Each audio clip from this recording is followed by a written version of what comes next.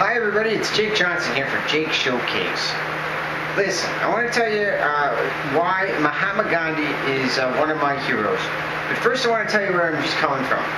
I actually am just coming from the uh, government office. Uh, I uh, recently had uh, just finished up being on unemployment, and on my last report, uh, I had uh, slightly uh, underreported by four dollars and I didn't know because I just started a job, this part-time job, and it wasn't until I got paid uh, officially that I knew exactly how much I made. So I made a slight error, and so I went into the office today to report, you know, that I'd overdone it, and they're probably going to send me a, like a bill for the uh, four dollars and twenty cents. And a lot of people would say hey, that's not a big deal, but you know, it's all about living the right way. Uh, you know, if it comes to if it comes to finance, if it comes to health, if it comes to the way you eat, the way you treat uh, women or men, you know, living the right way is the only way to go. You know, if nothing else, it makes you feel good, and and you never have to get in trouble. You never you never feel like you you got anything to hide really.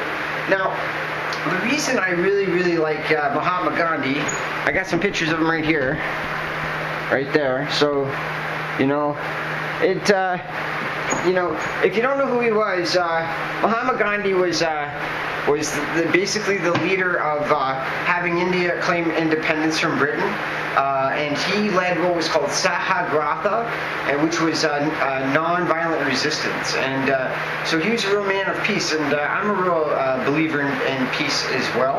But um, you know, it has nothing to do with like you know liking India or liking Pakistan because I've got I really love people from Pakistan and I, I love people from India as well. But you know, his nature of being uh, so uh, free of worry and free of concern is something that I really admire uh, in him. When I watched his uh, documentary, there was a scene where he uh, he you know the police come to arrest him. Now he was arrested several times on various charges, but uh, you know he he said, and what are the charges? You know, he was not afraid of you know being arrested, or he was never afraid. And I always looked at that as being uh, you know so calming. And uh, you know, he didn't he didn't wear nothing. He, you know, he, he he didn't he wasn't really a man of means.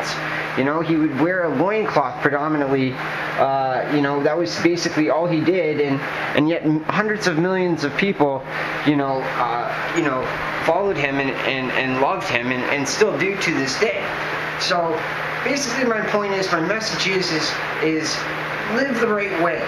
You know, live the right way, and uh, good things happen to you. You know, treat your job right, do everything you can, uh, whatever it is you're doing, and do it the right way. And you know, the payoffs are are, are immeasurable. All right, so that's my message to you today, and I hope that uh, maybe it's uh, maybe inspiring you to, uh, you know, if you feel like you're not living the right way in some regard or another, maybe to just try to turn it around. If you can't, if you can't fix it all at once, you fix it little bits at a time. You know what I'm saying?